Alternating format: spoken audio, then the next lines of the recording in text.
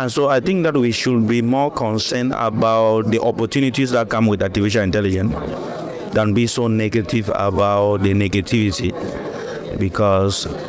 we can use the opportunity to overcome the negativity.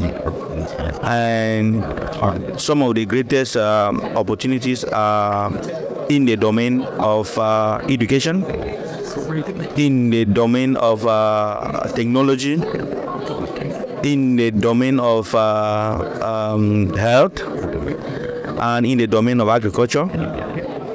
And um, for us who are members of parliament, we have been equipped,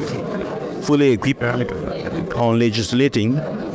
so that uh, our, legis- our legislation should be relevant and our legislation should not kill the evolution of artificial intelligence.